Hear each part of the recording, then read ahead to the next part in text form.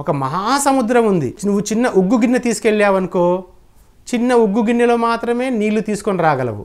ఒక గ్లాస్ తీసుకెళ్ళావనుకో దానికంటే ఎక్కువ వాటర్ తీసుకురాగలవు. ఒక బిందె తీసుకెళ్ళావనుకో ఇంకొంచెం ఎక్కువ నీరు తీసుకొని రాగలవు. అలాగే సముద్రమంతటి విశ్వ చైతన్యం ఉంటుంది. ఆ విశ్వ చైతన్యంలో నువ్వు ఎంత గ్రహిస్తావు? నీ బ్రెయిన్తో నీ మైండ్తో నీ ఇంటెలిజెన్స్తో నువ్వెంత గ్రహిస్తున్నావు?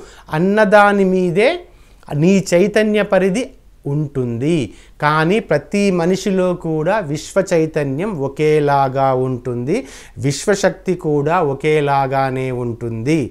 నీ థింకింగ్ ప్యాటర్న్ని బట్టి నీ ఆలోచన సంవిధానాన్ని బట్టి నువ్వు ఎంత గ్రహిస్తున్నావో దాని నుంచి అంతగానే నువ్వు మారతావు. అంత చైతన్యంతోనే నువ్వు ఉంటావు. నువ్వు మూలాధార స్థితిలో ఉన్నావు అని చెప్పడానికి నీ సర్వైవల్ కాన్షియస్నెస్ ఉంటుంది అక్కడ.